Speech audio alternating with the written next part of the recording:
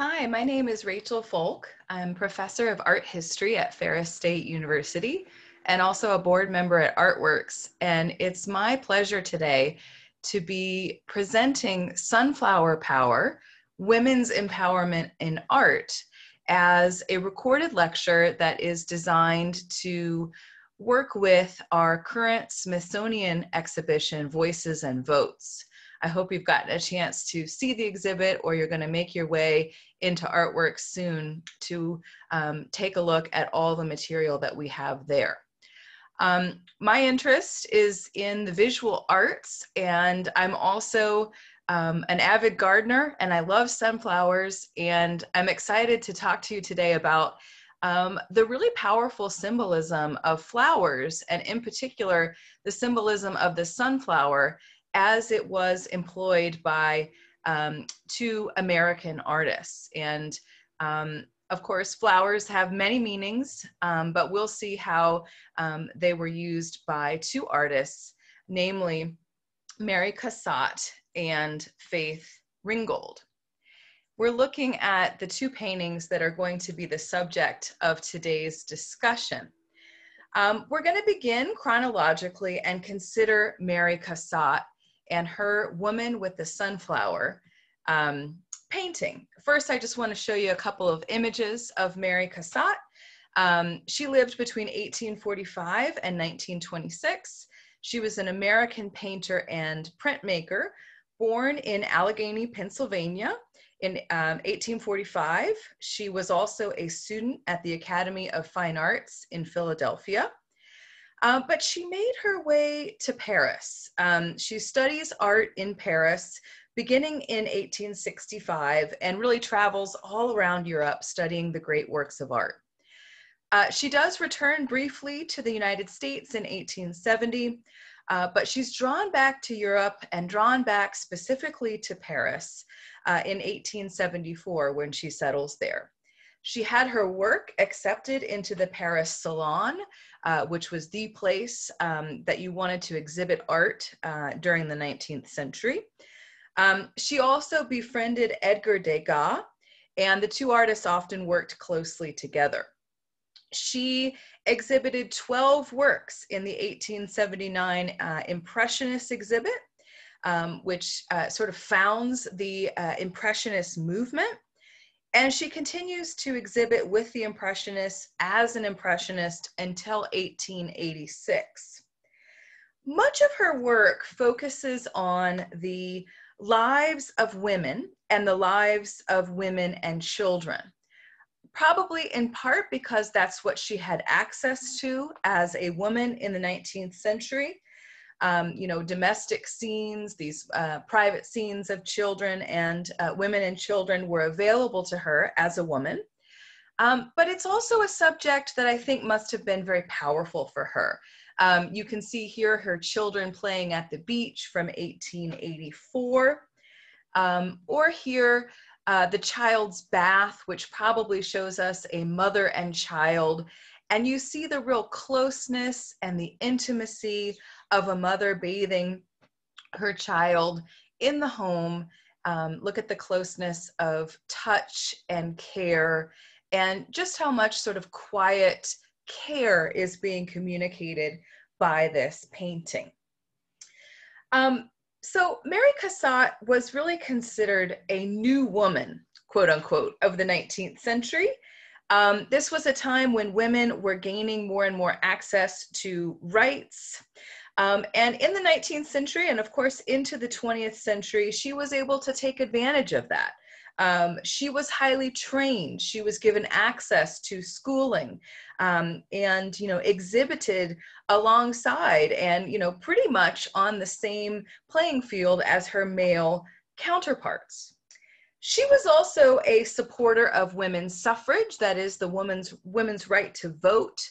And I think we can see that um, expressed in this painting, which I will speak to shortly. I want to highlight, though, um, another interesting um, fact about um, Mary Cassatt's biography, and that is that she purposely never marries. For her, um, it was a way of maintaining her independence, not to be attached to a husband. um, and not to have children. So while she um, certainly shows us a lot of mothers and children, um, and obviously has friendships and closeness with many mothers, um, she herself um, does not feel that she needs to um, do that in her own life.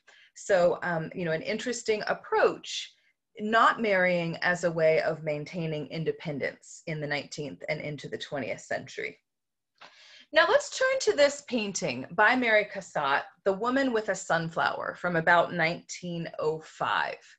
Um, you can see like the other paintings I've shown you um, and others that you're probably familiar with if you know Mary Cassatt's work, we see a mother and a child here. Uh, the mother is beautifully dressed. We appear to be in a private home.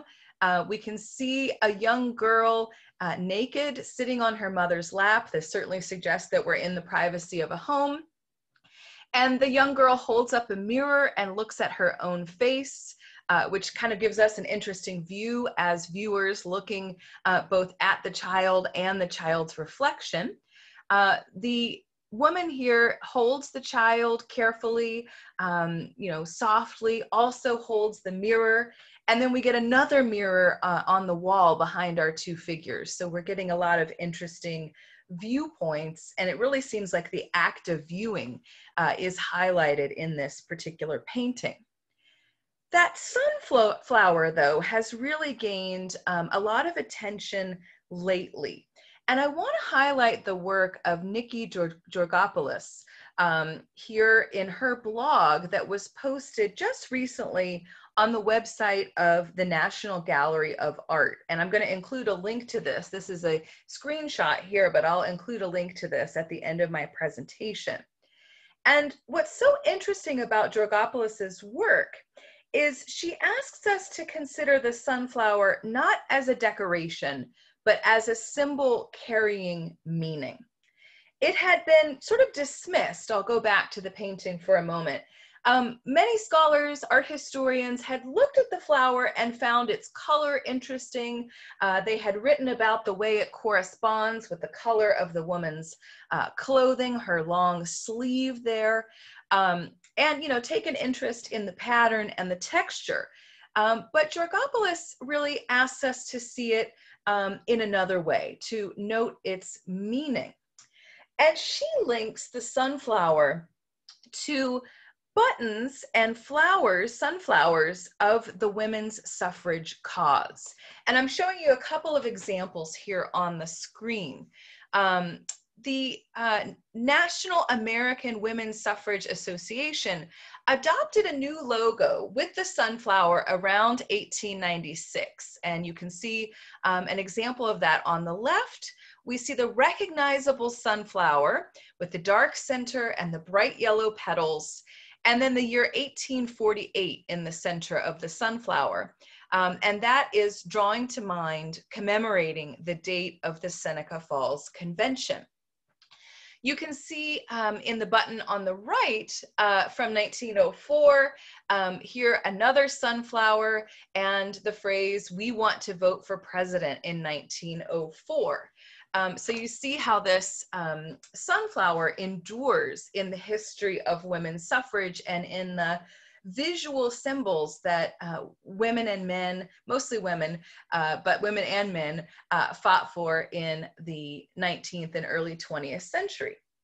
Um, and I will note that the sunflower had been previously used by the suffrage campaign of 1867 in, Can in Kansas, uh, where the sunflower is the state flower. Um, so this may speak to some of the origins of the use of the sunflower as well as the color yellow uh, together with purple and white, uh, which are the traditional colors of the suffrage movement. So if we look at the painting of um, Mary Cassatt, Woman with a Sunflower, side by side with these buttons, as Georgopoulos does in her research, I think we can see that we have a very, very close comparison here.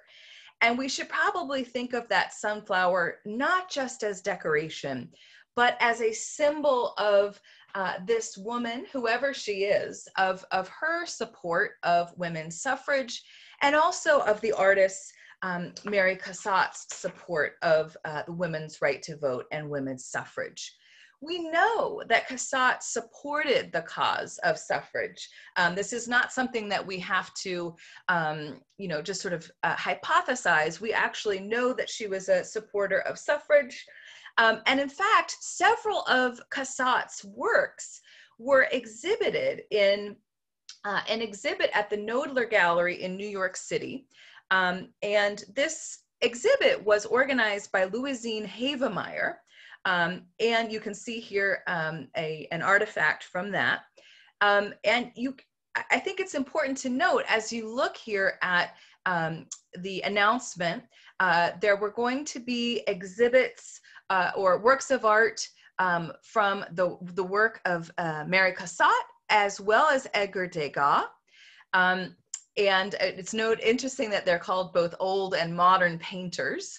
Um, and notice as you look at the admission, it's $1 and the, the uh, $1 admission fee is for the benefit of the suffrage campaign of 1915.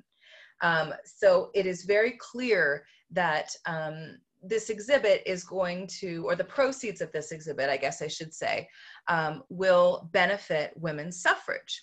Um, and you can see that um, Mrs. Havemeyer was going to speak on April the 6th briefly on Mary Cassatt's work and Edgar Degas' work.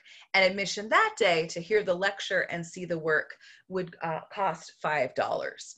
Um, so Mary Cassatt is allowing her work, giving her work over uh, to be part of that exhibit. And Mary Cassatt was very proud of Louisine Havemeyer and said so in a letter to her, really giving um, Havemeyer credit for organizing this exhibit. And um, I'll just read a, a short quote uh, from that letter. She says, quote, the time has finally come to show that women can do something. So in the visual comparison between these sunflower um, buttons, and of course, women would also wear sunflowers or paper sunflowers as well. In the visual comparison, as well as in um, the moments of history that we can recover uh, through artifacts such as this and the letters that Cassatt exchanged with Havemeyer, uh, we know that Cassatt was a supporter of suffrage. And as um, Nikki Georgopoulos um, notes in her blog, um, it seems very, very likely that that sunflower is helping to communicate the artist's support for the women for women's right to vote. And of course, that brings us back to the two women in the painting, a mother and a daughter in a private moment. Um, of course, we wonder if this mother is thinking about um, the future of her daughter, if her daughter uh, will ultimately have the right to vote. And of course, that's something that it appears this woman is fighting for and supporting uh, by wearing that sunflower, that large sunflower, uh, so prominently in this painting.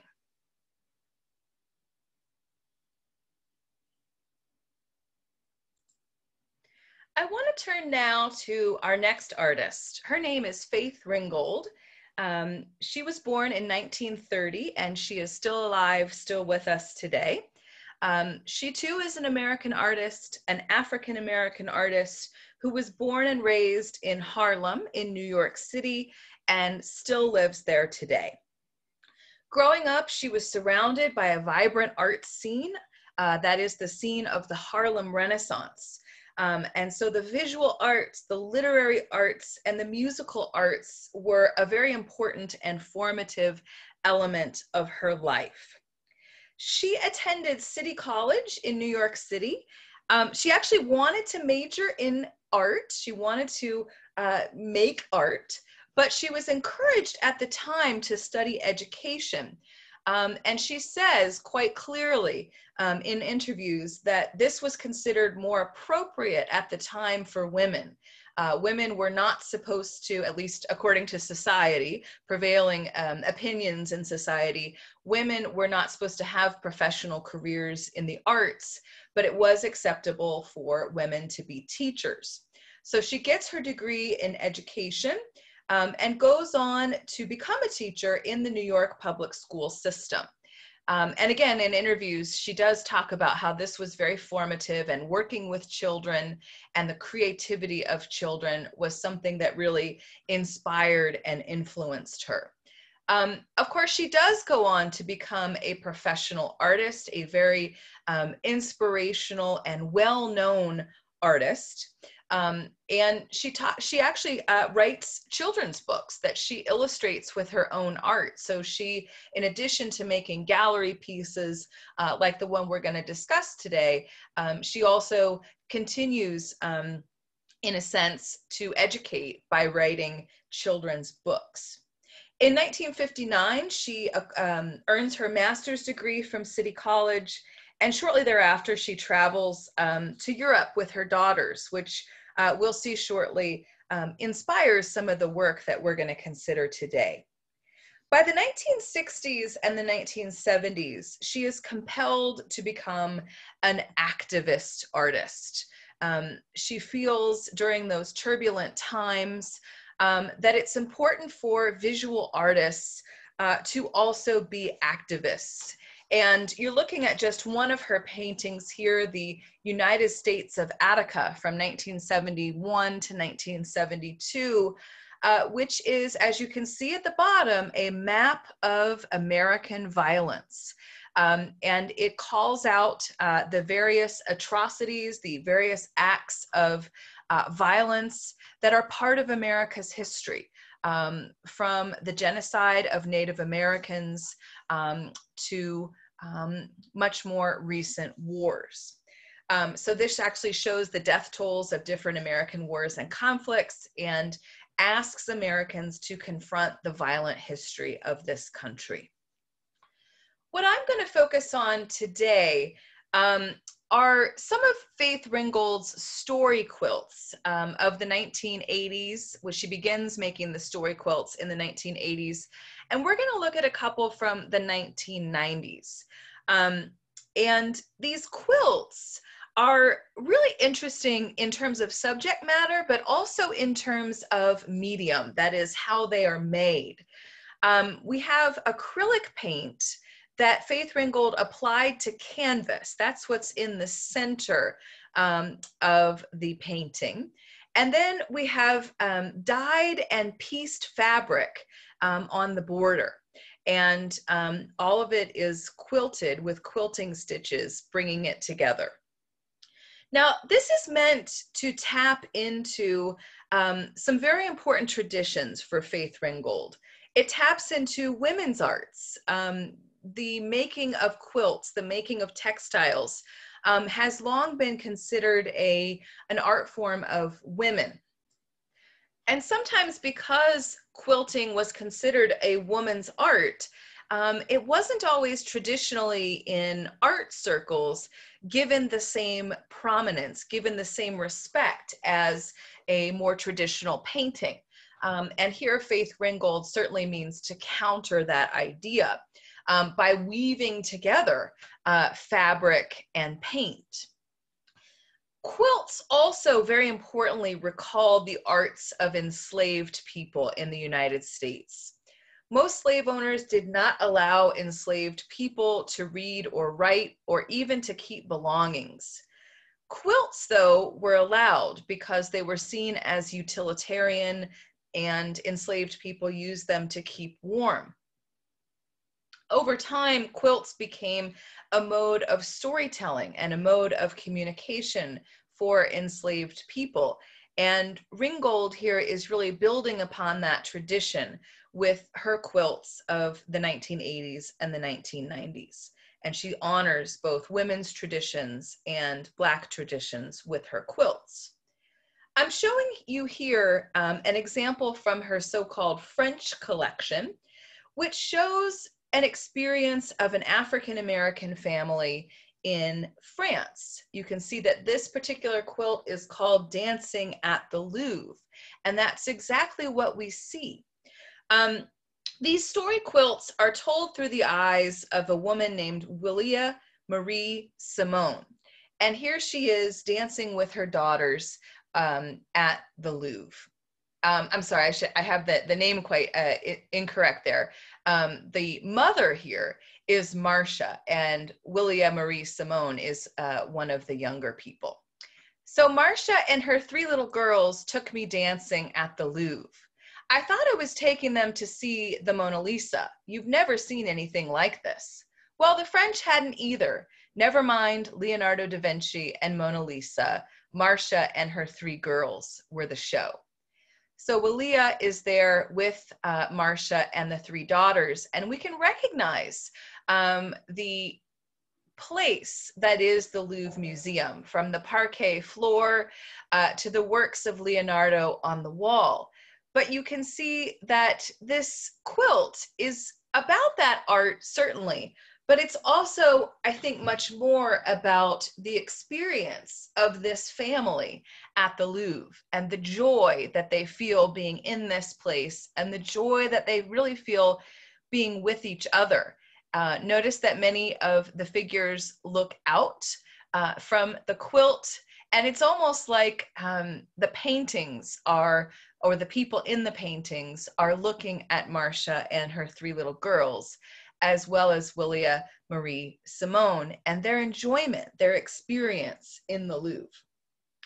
Um, so, you know, this series of quilts, I, I don't have time to show them all today, but these series of quilts confront traditional Western, that is, European art history with new stories and experiences where we see um, African American people, particularly many African American women, um, in these familiar places from art history like the Louvre. Um, and we see new stories and new experiences, really a new history being made. Um, I want to turn now to the sunflowers, the topic of today, to consider this quilt, which is part of that French collection. Um, this one's called Sunflower Quilting Bee at Arles, um, also from 1991, and also acrylic painting on canvas with pieced fabric at the border. Now, the quote I read you earlier and the quote that is on the screen now, these are from inscriptions that actually Faith Ringgold put onto these quilts. So there is a combination of art and text. There is visual storytelling, but also storytelling with words. Um, and this is all the creation of Faith Ringgold.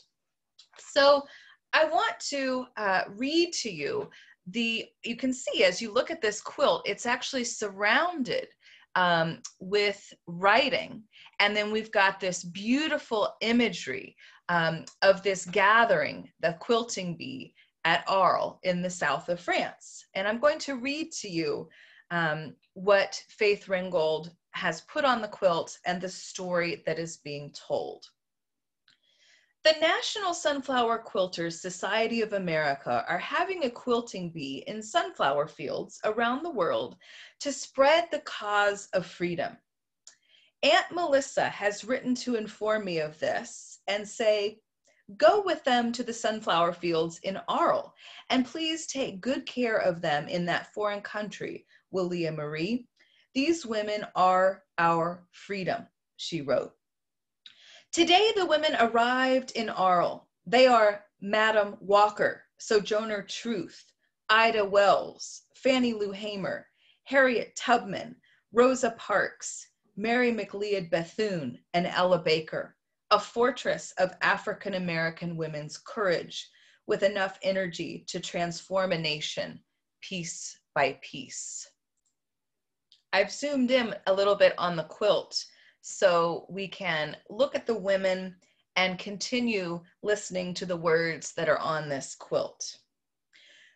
Look what they've done in spite of their oppression. And we're moving left to right. Madam Walker invented the hair straightening comb and became the first self made American born woman millionaire.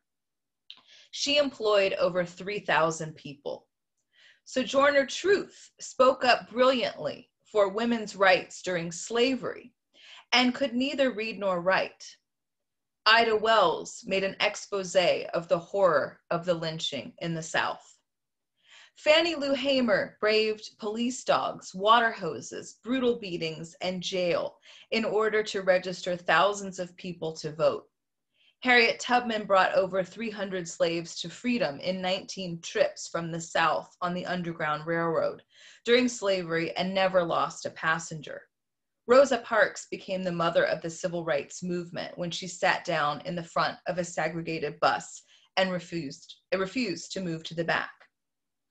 Mary McLeod Bethune founded Bethune Cookman College and was special advisor to Presidents Harry Truman and Franklin Delano Roosevelt. Ella Baker organized thousands of people to improve the condition of poor housing, jobs, and consumer education. Their trip to Arles was complete. The sunflower quilt, an intentional symbol of their dedication to the world. The Dutch painter Vincent van Gogh came to see the Black women sowing in the sunflower fields. Who is this strange looking man? They asked. He is un grand peintre, I told them, great painter. Though he is greatly troubled in his mind, he held a vase of sunflowers, no doubt a still life for one of his paintings. He's the image of the man hit me in the head with a rock when I was a girl, Harriet said. Make him leave. He reminds me of slavers. But he was not about to be moved. Like one of the sunflowers, he appeared to be growing out of the ground. Sojourner wept into the stitches of her quilting for the loss of her 13 children, mostly all sold into slavery. One of Sojourner's children, a girl, was sold to a Dutch slaver in the West Indies, who then took her to Holland. Was that something this Dutch man might know something about? He should pay for all he should pay for all the pain his people have given to us. I am concerned about you, Willia Marie. Is this a natural setting for a black woman? Sojourner asked. I came to France to seek opportunity, I said. It is not possible for me to be an artist in the States. We are all artists. Piecing is our art. We brought it straight from Africa, they said that was what we did after a hard day's work in the fields to keep our sanity and our beds warm and to bring beauty into our lives. That was not being an artist, that was being alive. When the sun went down and it was time for us to leave, the tormented little man just settled inside himself and took on the look of the sunflowers in the fields, as if he were one of them. The women were finished piecing now. We need to stop and smell the flowers sometimes, they said. Now we can do our real quilting, our real art, making this world piece up right. I got to get back to the railroad, Harriet said. Ain't all us free yet, no matter how many them laws they pass. Sojourners fighting for women's rights, Fannie for voter registration, Ella and Rosa working on civil rights, Ida looking for men's um, getting out the lynch, Mary Bethune getting our youngins education, and Madam making money, fixing hair, and giving us jobs. Lord, we sure is busy. I'm so thankful to my Aunt Melissa for sending you wonderful women to me, I said. Art can never change anything the way you have, but it can make a picture so everyone can see and know our true history and culture from the art. Someday I will make you women proud of me too. Just wait, you'll see. We'll see, Willia Marie, they said. We'll see. So you can see in the images and in the story um, that this is a gathering of women who, of course, could not have all gathered in real life, but they're gathered here as founding mothers of African American history and African American rights fighting against slavery, fighting for civil rights. And we see them piecing together this quilt. Um, and it is a very symbolic quilt, as we could uh, hear in the narrative, in the story, that is symbolic for the work that they have to do or they feel that they have to do in piecing together America and piecing together the world. Now, you heard the discussion uh, in the story of Vincent van Gogh, who stands at the right of the women uh, here in Ringgold's quilt. And you can see how Ringgold has um, really studied Vincent van Gogh's art.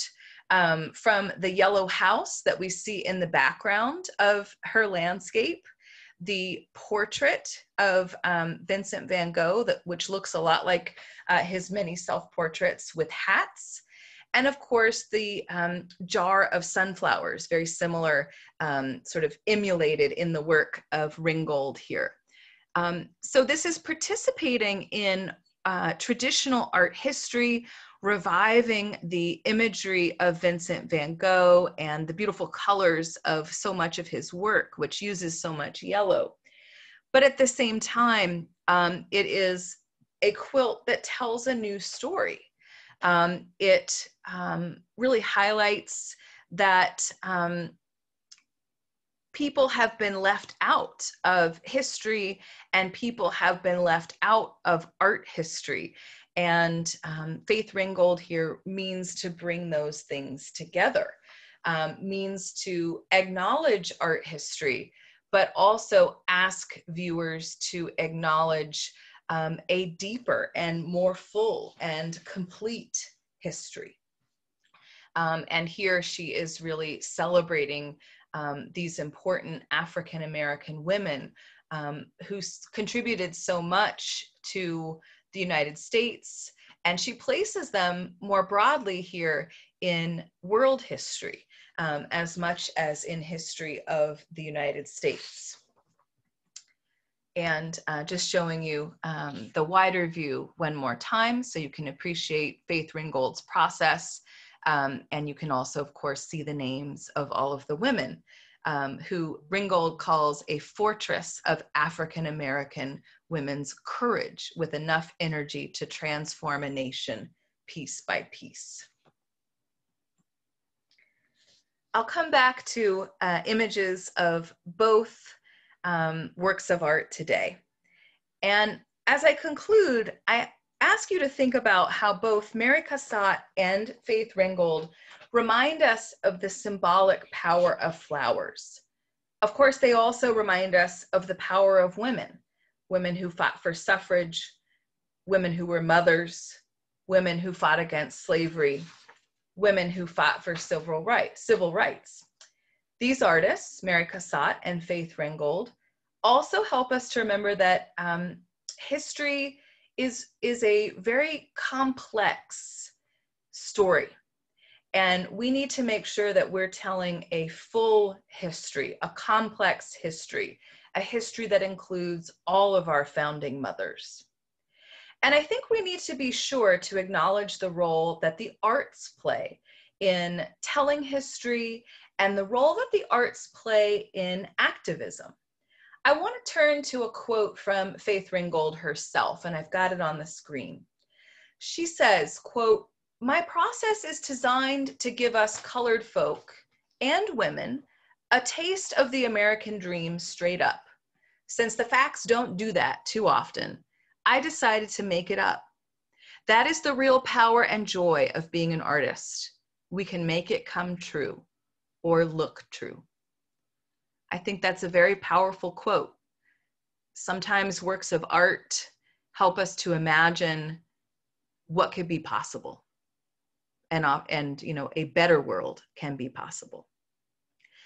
I welcome your questions if you want to send me an email at rachelfoulk at ferris.edu. Questions or comments, of course, are welcome. I've also included um, some further reading. There are many, many books and, and many articles about uh, Faith Ringgold and Mary Cassatt. Just a few that I used um, to inform my presentation are here on the screen. Um, and I do particularly want to encourage you um, to make use of the internet um, and watch the many videos of Faith Ringgold. She gives a lot of um, interviews and you can hear her speak about her own work. Um, of course, that's not possible, um, at least on YouTube, um, for uh, Mary Cassatt, but there are a lot of great books and articles about her. And of course, we have many photographs and documents from her life. Um, so she's also someone um, that you can get to know by way of her art and the various artifacts that we have about her life. So thank you again for the opportunity to speak with you and um, to think about the power of art and the power of women and how we sometimes use flowers and we sometimes use our art to advocate for very important things. I appreciate it. Thanks, everyone. Be well.